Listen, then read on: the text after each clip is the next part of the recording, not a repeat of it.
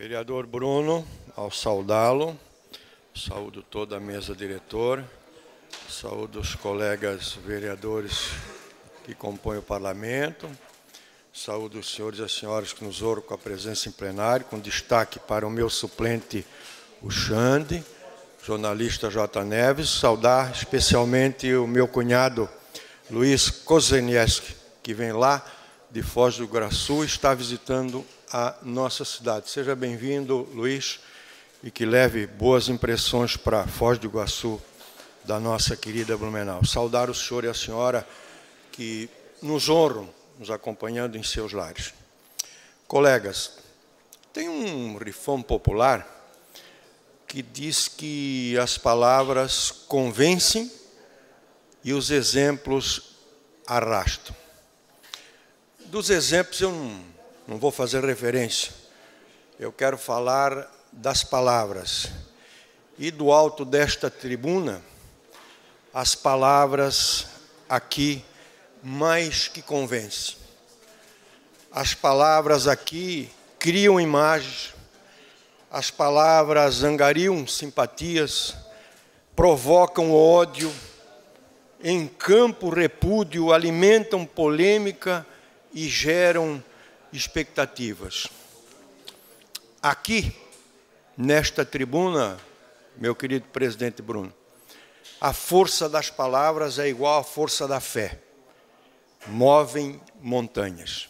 E dentro desse contexto da força da palavra, eu não pretendo aqui absolutamente tolher o sagrado direito dos meus colegas parlamentares de se valerem das palavras aqui é, proferidas. Esse direito absoluto, indiscriminado. E muito menos eu gostaria também de me envolver na polêmica, no sentido de dizer se concordo, se não concordo, se é certo ou é errado, porque isso é função da dialética. Eu quero apenas não ser vítima dessa ilimitada liberdade de expressão.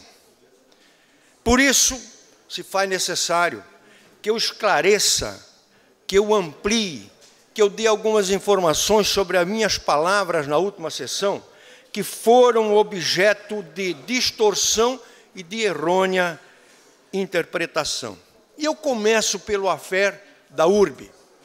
Quando eu disse que a URB é um cabide de empregos, eu não fiz referência ao trabalhador, aquele que ganha um salário mínimo, aquele que acorda de madrugada e que vai embora cansado, aquele que coloca o seu suar no trabalho, aquele que nos orgulha, aquele que honra a sua família, aquele que faz do seu rendimento o sustento da sua família, e muito menos fiz referência aos concursados, que também merecem os nossos aplausos.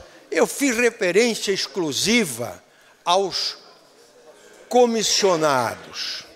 E aí, eu não vou perder muito tempo, que eu vou me valer da lavra do jornalista Pancho, que colocou no Jornal de Santa Catarina, na sua coluna, o seguinte: que a URB é um câncer para a prefeitura, capaz de sugar milhões da administração pública sem justificar na prática os aportes.